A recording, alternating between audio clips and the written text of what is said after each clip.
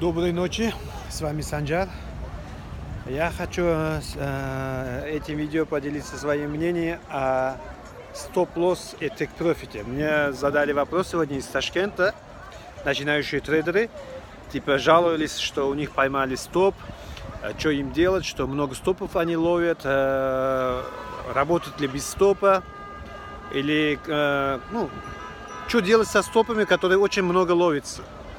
Я хочу, э, это лично сугубо мое мнение, я хочу посоветовать, что если человек использует стратегию со стопом, потому что есть стратегии со стопом, есть стратегии без стопа. Если без стопа, там свои правила, э, свои правила, свои лоты, например, риск. То есть, если стратегия со стопом, э, то можно немного с, с большим лотом открывать. Если стратегия без стопа, с усреднением, то надо лоты, соответственно, уменьшать. Если человек работает со стопом, э, стратегией со стопом, и у него ловится стоп, то уже не надо его двигать, не надо его менять. Как бы. Если, например, изначально поставил стоп, все, надо смириться и закрыться, и потом заново анализировать рынок и заново входить. Почему?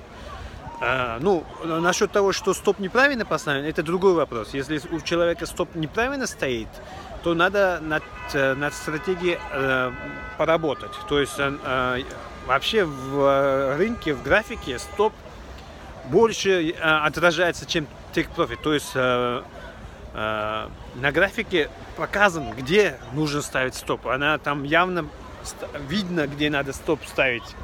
Э, то есть э, маркет нам показывает, где им надо ставить стоп. Его уже не надо его двигать. Если стоп поймался, все, значит маркет, скорее всего, уйдет в другую сторону. Или еще раз потом э, надо будет э, найти вход.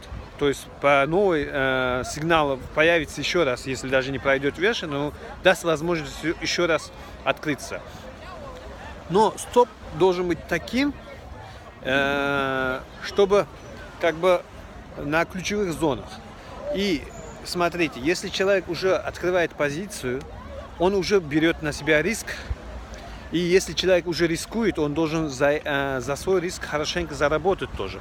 То есть надо находить, надо находить такие входы, где бы ваш стоп был э, на, в три раза, в четыре раза, в пять раза меньше, чем ваш потенциальный таргет.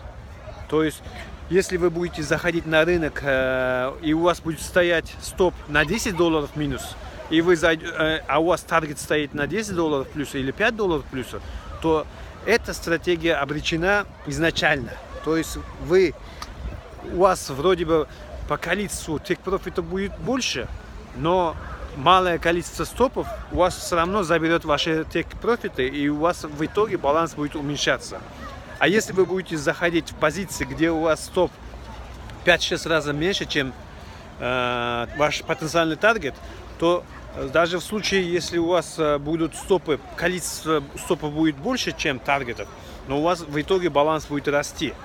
Э, к примеру, если даже 3 к 1 возьмете стоп и take profit 3 к 1, из 10 сделок всего 3 сделки достаточно, чтобы вы были в плюсе. То есть из 10 сделок Э, с соотношением 3 к 1, э, и у вас 7 стопов, если поймается, например, у вас будет 70 долларов минусов, и всего 3 э, take profit, если поймается, с соотношением 3 к 1, это уже 90 долларов будет плюса. То есть разница у вас будет 20 долларов плюса.